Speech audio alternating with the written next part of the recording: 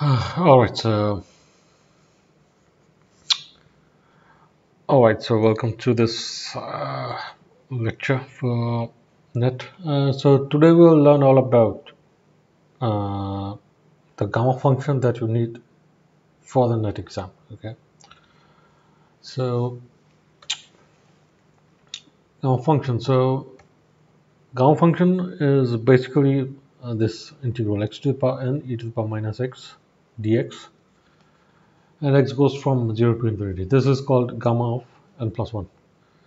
So the actual definition of gamma is uh, comes from um, complex integrals but for the purpose of net this definition is sufficient. So and this integral appears uh, at many places uh, in, in physics. So it's uh, important to uh, sort of know some properties of um, of gamma functions you know, with uh, real variables. So for the net exam, you need to know these following properties. One is gamma n plus 1 is n times gamma n. So this recursive relation is uh, important.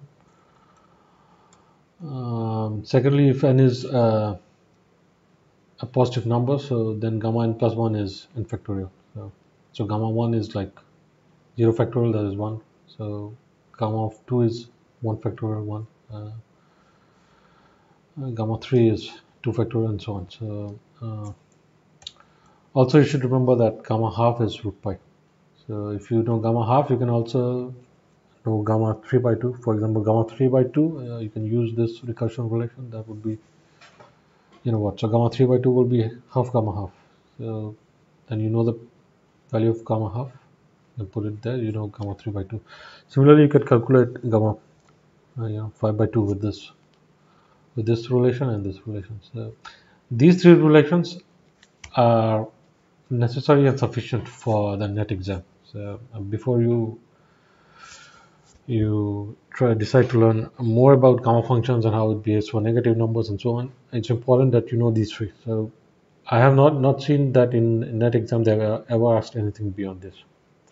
Okay so th this is all about gamma function that you need to know for the purpose of net.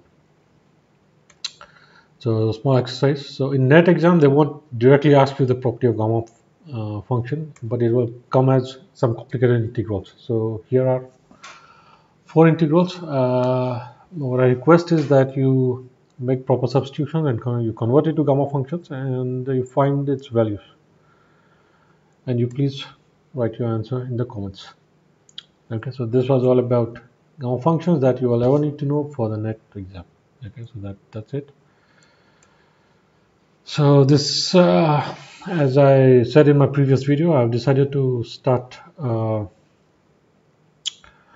a minimalistic course for the net exam. So all my lectures are going to be short and very precise and to the point and all directed and focused towards the net net exams there okay? So if you're interested please watch my earlier announcement and uh, if you're interested just send me an email or uh, express your interest in the comment section.